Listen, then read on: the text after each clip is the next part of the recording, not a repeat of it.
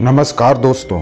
दोस्तों, आज मैं आपको जिस मंदिर के बारे में बताऊँगा, वह भारत का ही नहीं, दुनिया का सबसे ऊँचा और बड़ा मंदिर है।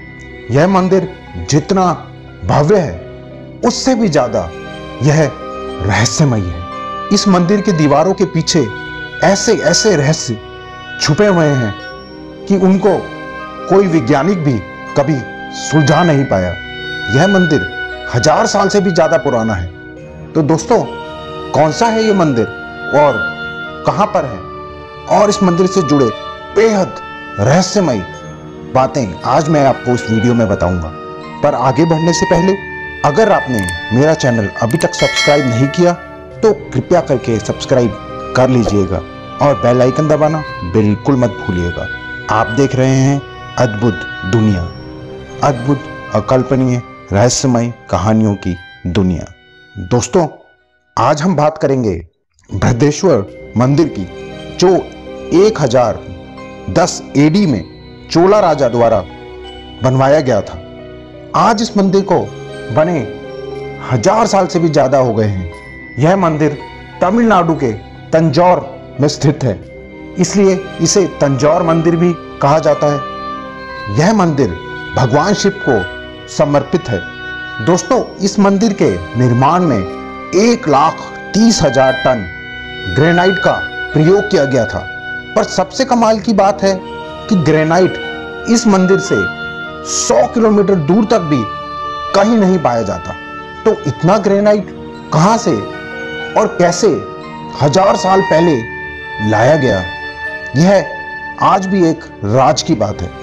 इस मंदिर के दुर्ग की ऊंचाई 216 फुट है, जिसमें 13 मंजिलें हैं और यह दुनिया का सबसे ऊँचा मंदिर है।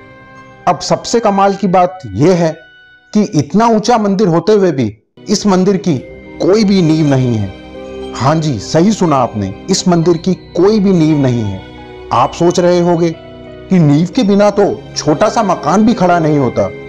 तो यह 216 फुट ऊँचा मंदिर जिसमें तेरह मंजिलें हैं, जो हज़ार साल पुराना है, बिना नींव के कैसे खड़ा हुआ है?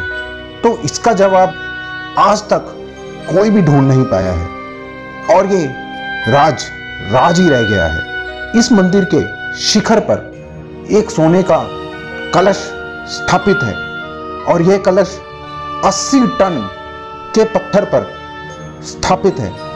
इस पत्थर पर बहुत ही बारीक नकाशी की गई है।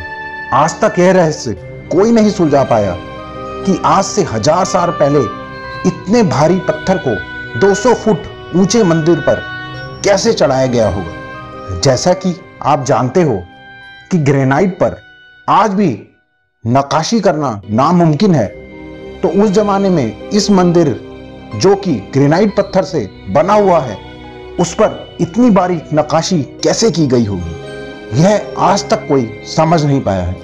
इस मंदिर को ऐसे बनवाया गया है कि इसकी कोई भी परछाई नहीं बनती।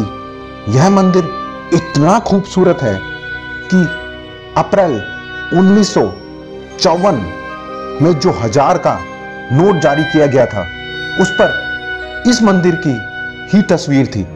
इस मंदिर के हज़ार साल पूरा होने पर भारत सरकार ने हज़ार रुपए का एक सिक्का भी जारी किया था, जो कि 2010 में किया गया था।